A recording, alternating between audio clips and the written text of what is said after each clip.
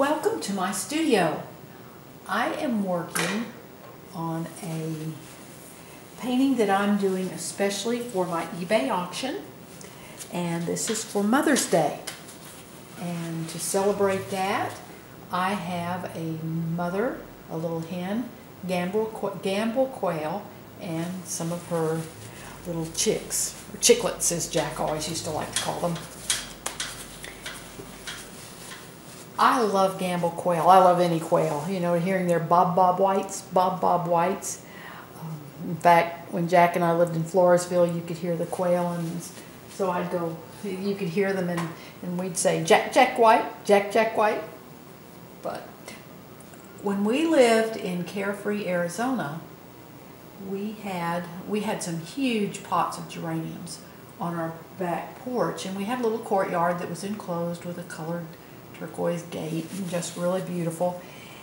And one morning as I was watering, I discovered a bunch of quail eggs underneath one of the geraniums just in a little kind of a depression in the mulch. So I just said, oh my gosh, the quail have adopted us. So I was very careful when I water and everything, and they hatched. And our little courtyard was protected. The coyotes and critters couldn't get the quail. I mean, the mother quail was very smart. And so we saw the babies raised up in our back little courtyard. And it was just delightful to see them go from those little puffs of, of just downy feathers to youngsters. And but it was so funny watching her teaching them to fly because we had a big pot of petunias also. We had the geraniums and then petunias. And she would climb up in the petunias and call her babies. They'd climb up the petunias because they draped all the way to the ground. And then she'd jump down. Well, those little babies would be up there chirp, chirp, chirp, chirp, chirping away. And she'd keep calling to them, and finally they would jump off, and that's how they learned to fly. They kind of just kept, she kept going back up and back and forth, and that's how she taught them to fly.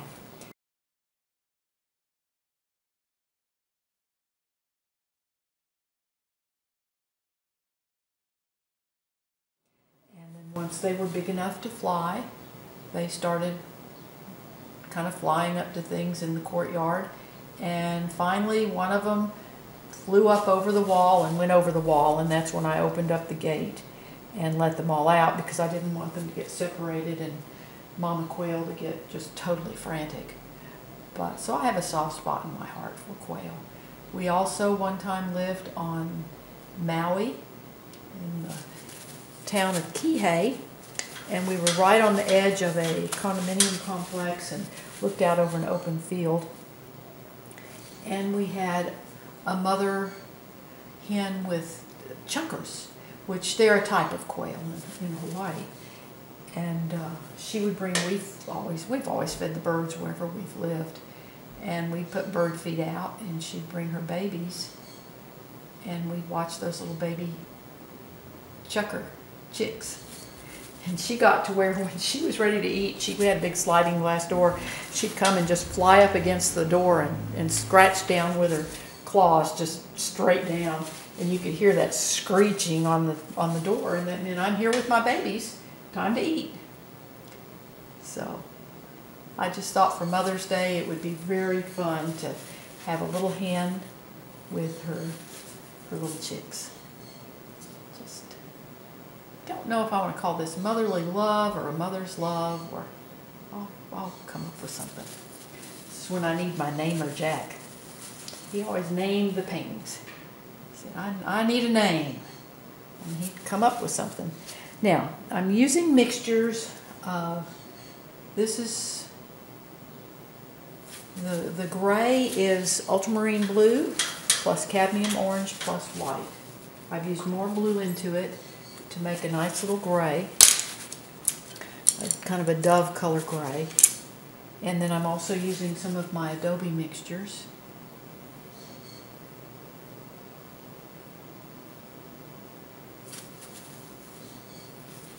And then this is mud that I'm using for her beak, for Mama's beak.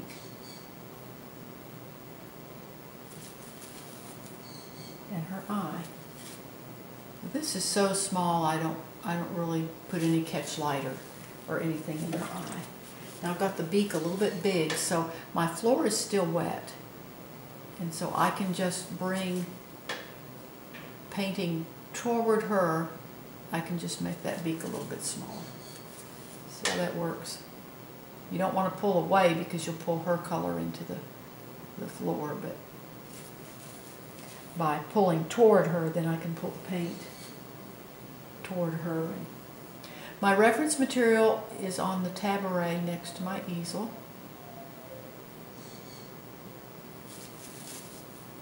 And so I'm constantly looking at that.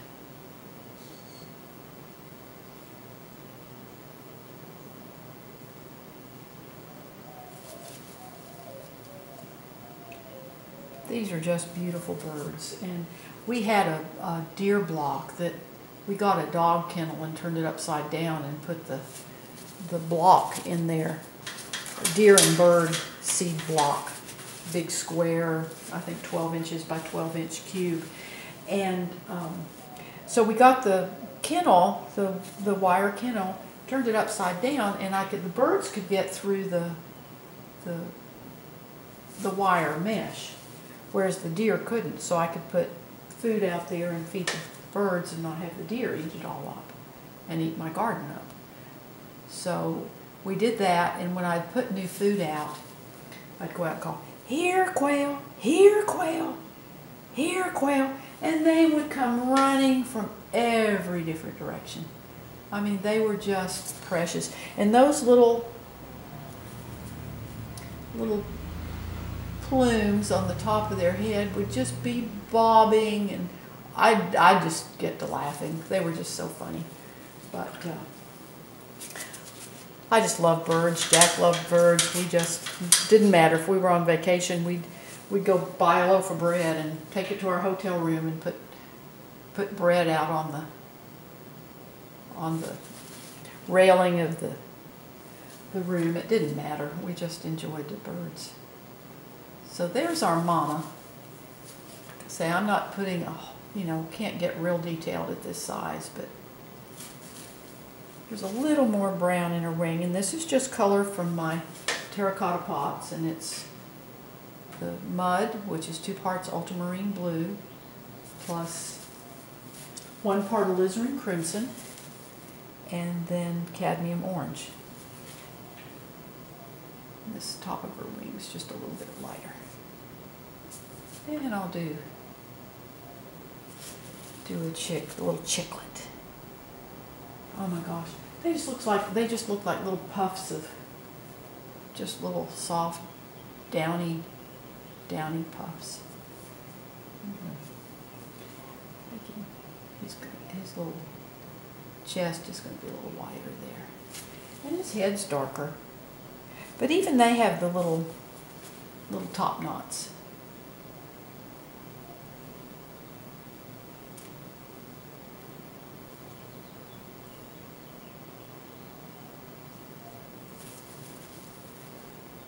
I'll go ahead and put his on. These are just, oh my gosh, they're so delightful. God's creations are just amazing. And I just, every day when I see birds at my feeder, I just am so thankful.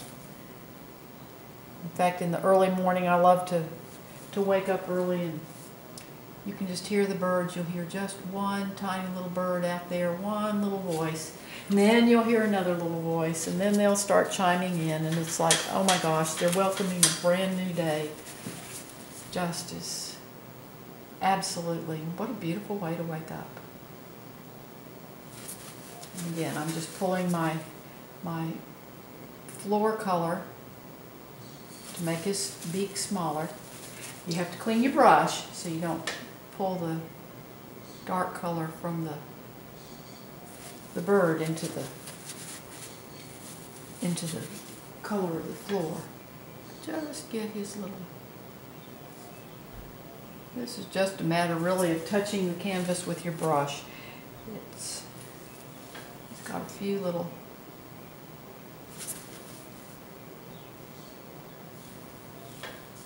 wings darker here.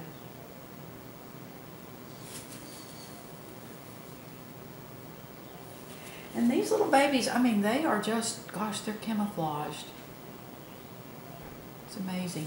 You get out there and you can almost be on top of them, and if they're still, you just can't see them. They, they blend in with the leaves and underbrush. And, and then now we have another one here behind him. This one's kind of hunkered down. And his darkness of him accentuates then the little fella in front of him. Bring a little blue onto this side of him, just to cool him, make him go back. And a little bit of that gray. This little chest there is going to be a little lighter. I, I put their legs in when I did the floor, and I had to be very careful painting the floors, kind of paint around them, to keep my sketch. Fortunately, I had the sketch was done with an oil wash of my mud plus liquid, and it's it has dried overnight. So it's very easy then to come back. If I get any paint on top of my sketch, I can just lift it off with a clean brush dipped in thinner. Now I'm going to put a little light on the top of this one's head so we can see him. Comes out from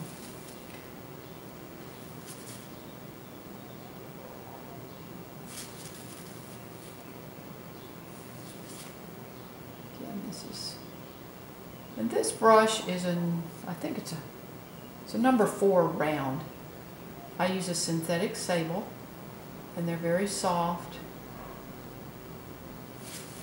and it just, it's a nice, easy brush to work with. I can get the detail.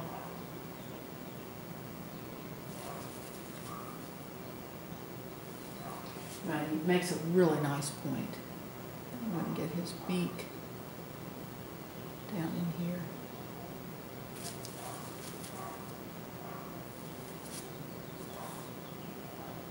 But I just wanted to show you painting the hen and a couple of the little little chicklets. And again, this painting is going to be on my eBay auction.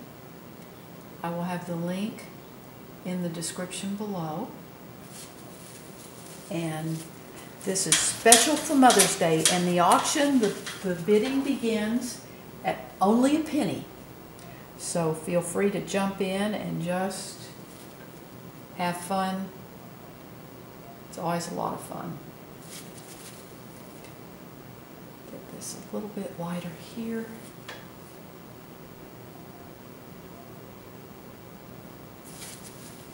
And just make him a little bit wider right here. Give him So I really appreciate you watching my YouTube videos. Come and bid on the painting. Come visit the auction. See what happens. And I appreciate you. For those of you who are mothers out there, happy Mother's Day. Thank you again.